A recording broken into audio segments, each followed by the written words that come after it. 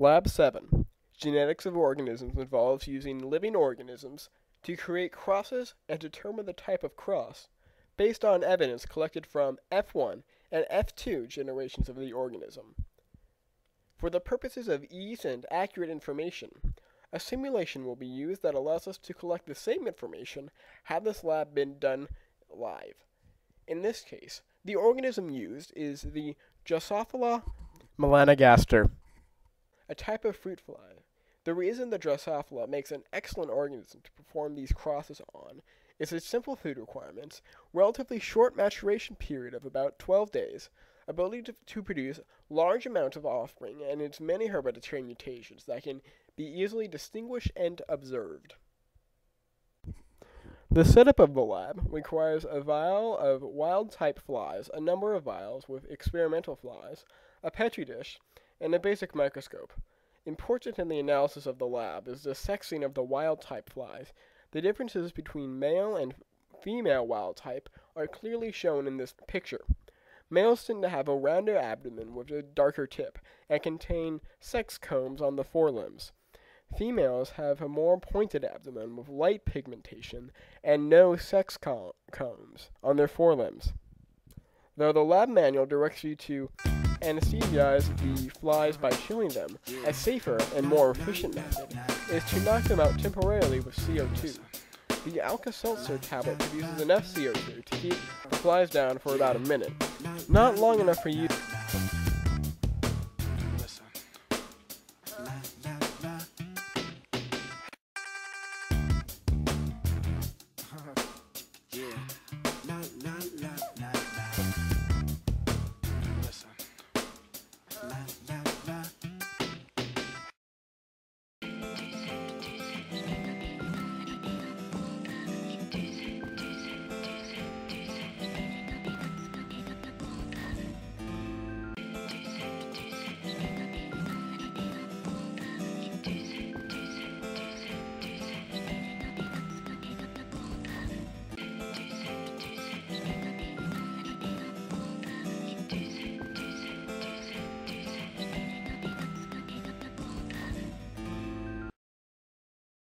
an observation.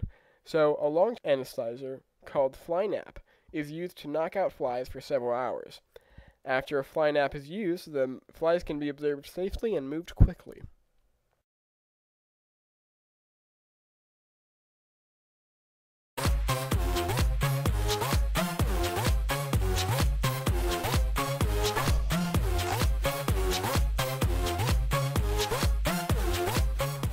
Once comfortable with determining the sex of flies and anesthesizing them, a vial with experimental flies will contain the crosses we observed.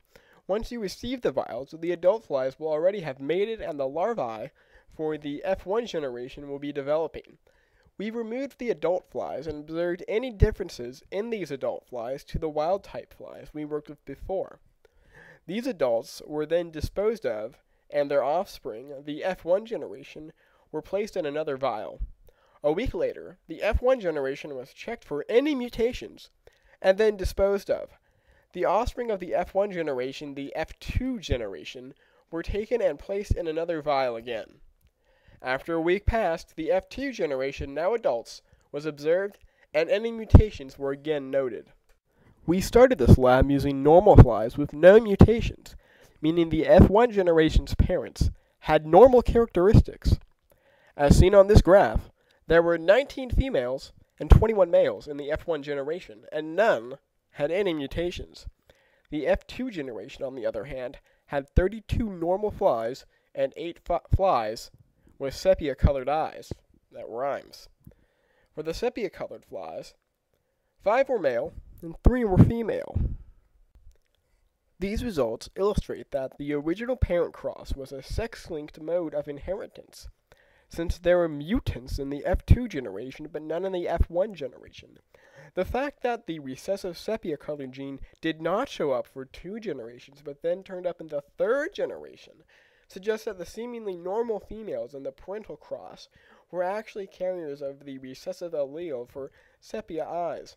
Obviously, a cross between the, a normal male and a carrier female would yield no female mutants. And has a, ch- has a 25% chance of yielding a male mutant. Therefore, it is perfectly logical that there were no mutant males in the F1 generation. However, the F1 generation certainly had many females that were carriers of the recessive gene, and these females passed the genes onto their offspring. Consequently, the F2 generation yielded 8 mutant flies.